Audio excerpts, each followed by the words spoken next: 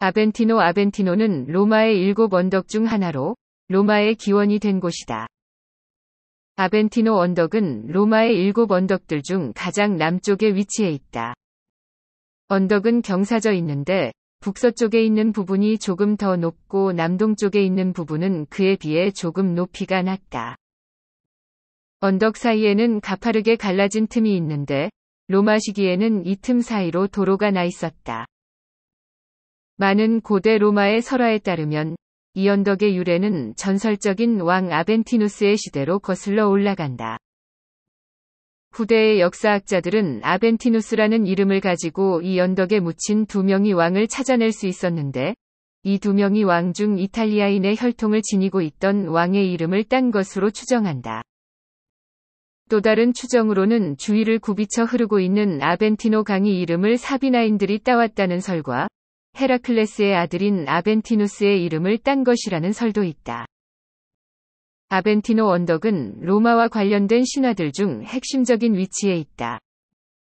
베르길리우스의 아이네이스에는 아벤티노 언덕 경사면에 있는 동굴 속에 불을 뿜는 거인이 산다는 말이 있고, 로마의 건국 설화인 로물루스와 레무스 설화에서는 레무스가 아벤티노 언덕에, 로물루스가 팔라티노 언덕에 근거지를 잡았다는 말이 있다.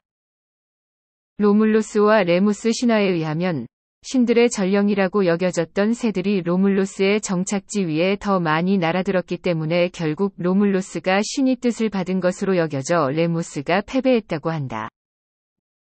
원래 로마 초기에는 아벤티노 언덕이 로마시의 경계 내에 위치해 있지 않았다. 고대 로마 역사가 리비우스에 따르면 로마의 사대왕이 근처의 라틴족 일부를 복속시켜 이곳에 이주해 살게 했다. 이후 그는 로마의 성벽을 확장하여 아벤티노 언덕을 시의 경계 안으로 밀어넣었고 왕정 말기까지 시의 외곽부로 존속했을 가능성이 크다. 아벤티노 언덕은 타지의 외부인들이 로마 시내 안으로 들어왔음을 알리는 일종의 최외곽 경계의 역할을 했다. 왕정 말기 무렵에는 6대 왕이 이곳에 다이애나 여신에게 바치는 신전을 지었으며 이곳을 라틴 동맹의 상징으로 삼았다. 기원전 493년에 왕정이 무너지고 공화정이 세워지자 로마 원로원은 아벤티노 언덕에 세 개의 신전을 더 지었다. 이 신전들은 키르쿠스 막시무스를 내려다보고 있었으며 팔라티노 언덕과 마주보고 있었다. 이곳은 로마의 평민들과 민회의 중심지였다. 이때까지 언덕은 공유지였을 가능성이 크다.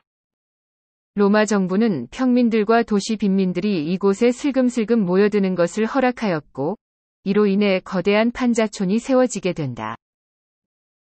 결국 기원전 391년 골족들이 대대적으로 침입해오자 상대적으로 방비가 약할 수밖에 없었던 이곳 아벤티노 언덕이 함락되었고, 한동안 로마는 야만인들의 지배하에 놓이게 된다. 후대에 로마의 힘이 커짐에 따라 로마의 성벽을 다시 확장하여 정식으로 아벤티노 언덕을 감싸게 되었는데 이와 같은 조치에는 점점 더 커져가는 평민들과 호민관, 민회의 권력이 배경에 있었다. 로마 제국은 후에 아벤티노 언덕의 타 지역에서 들여온 신들의 사원들을 더 짓게 된다. 기원전 392년에 유노의 신전이 세워졌으며 3세기에는 미네르바의 신전이 세워진다. 무솔리니가 이탈리아를 휩쓰는 광풍을 일으키는 동안 무솔리니를 반대하던 수많은 야당 의원들이 이곳에서 그들의 정치적 생명을 포기하고 이외에서 쫓겨났다.